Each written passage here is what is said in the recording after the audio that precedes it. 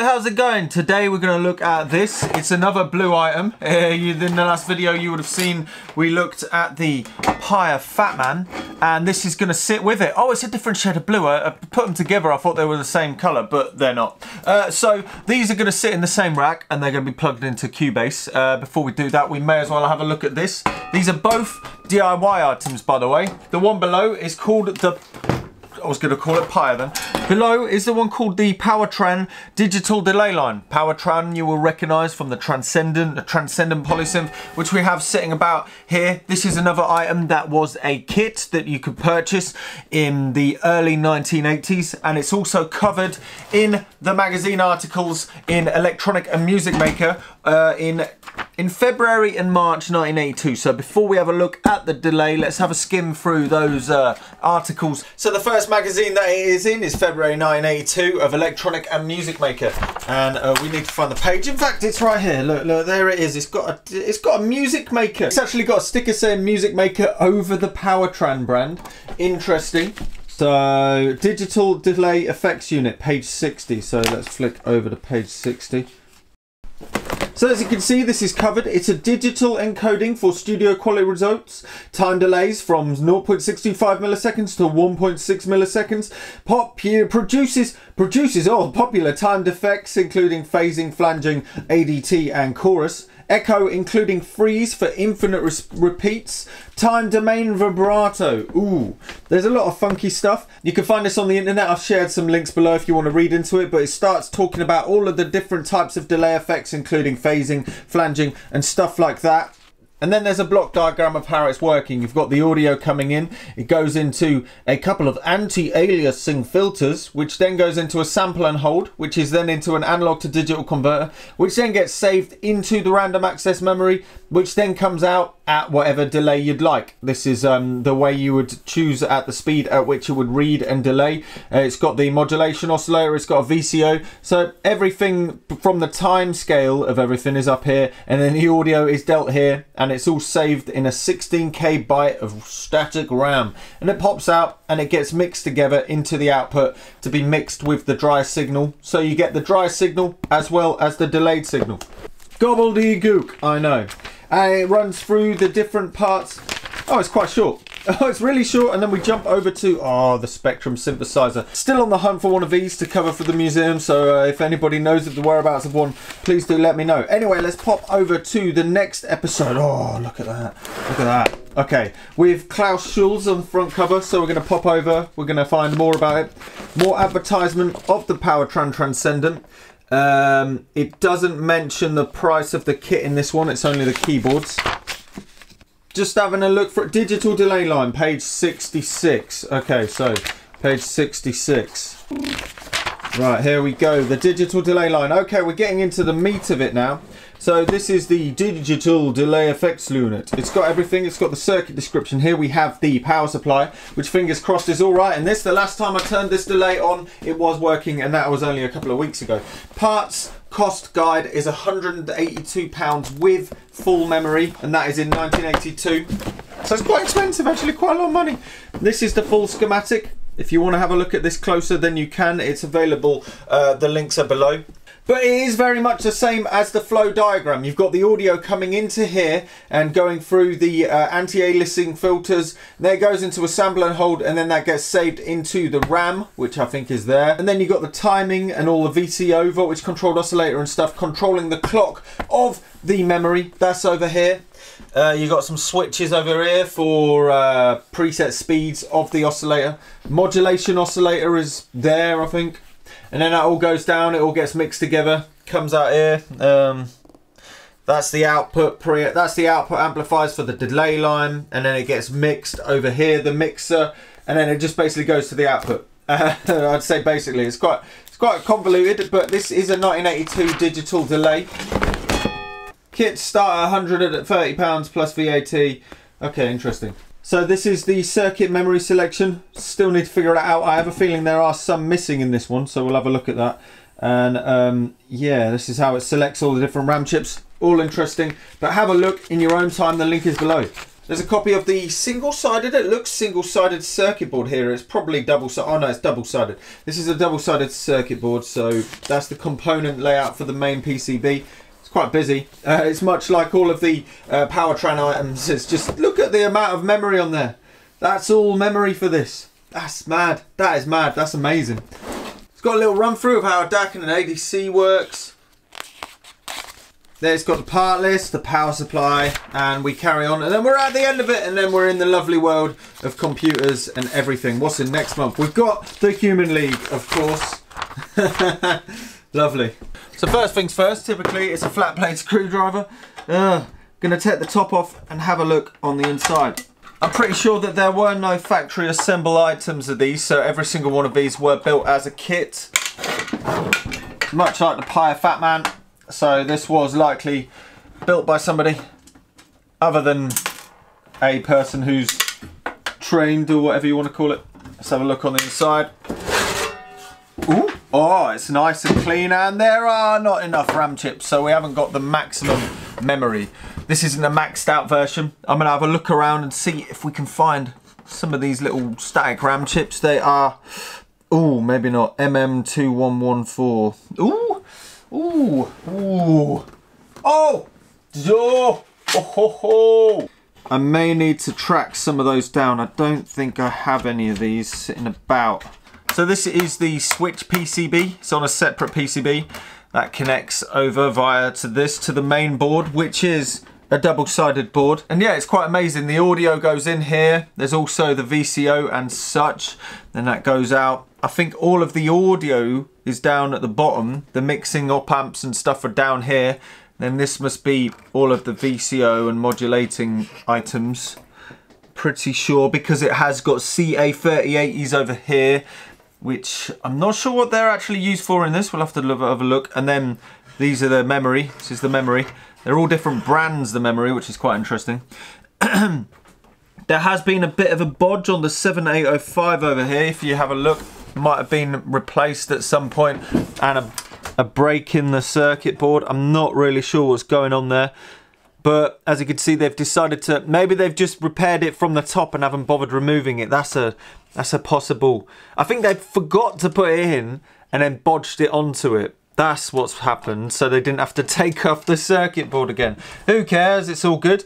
There's actually four 7805 uh, voltage regulators, and then there's a bipolar power supply up here for all the VCOs and stuff, and then that gets bounced down into these. But there's there's five. Oh no, there's five 7805s. Very interesting.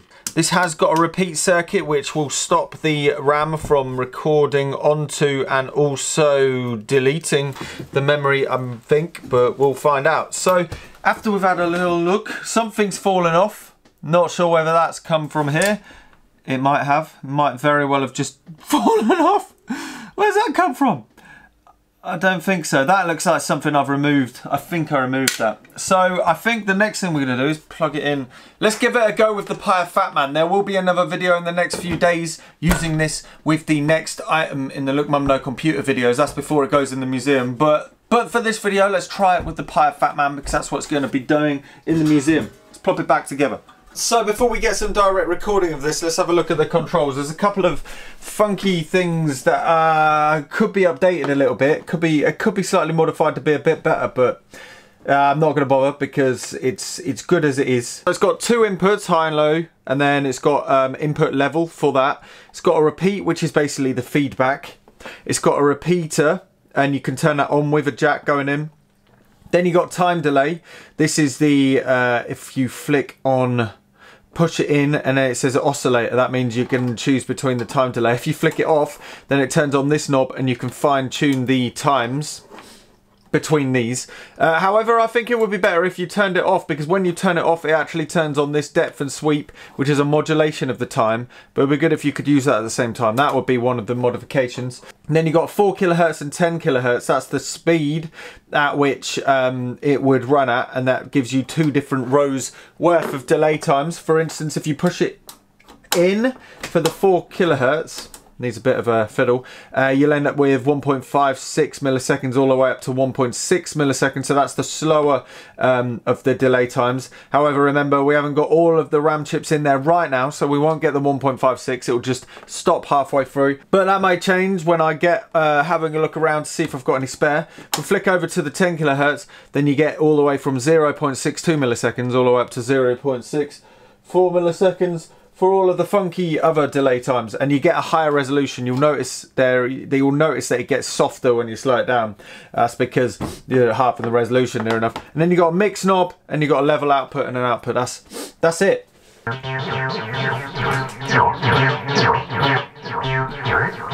Before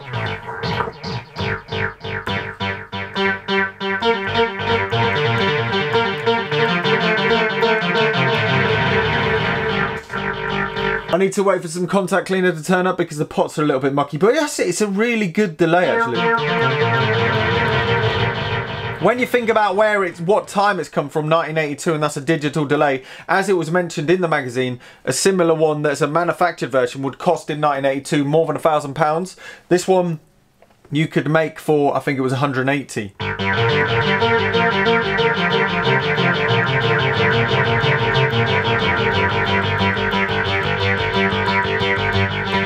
Oh no, one sec, one sec. And then let's freeze it. There we go. Because I played to the same speed of it, and then we can turn up the depth.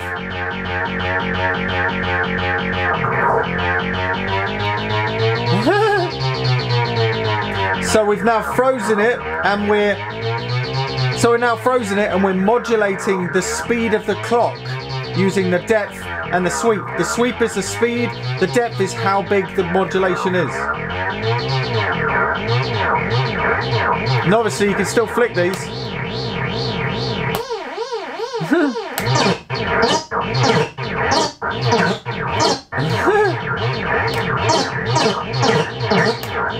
I didn't think about that, but if you increase the amount of time delay, you end up opening it up to different RAM chips that haven't yet been recorded on, so you get garble.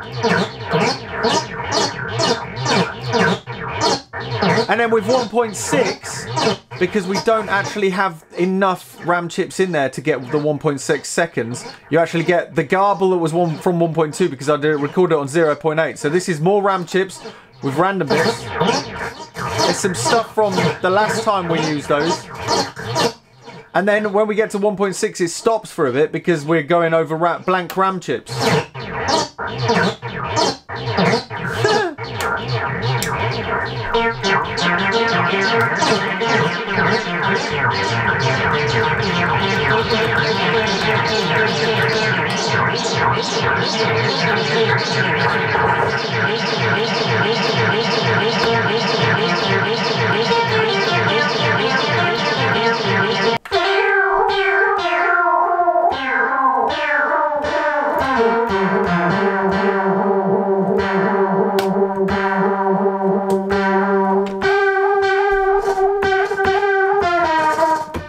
Oh.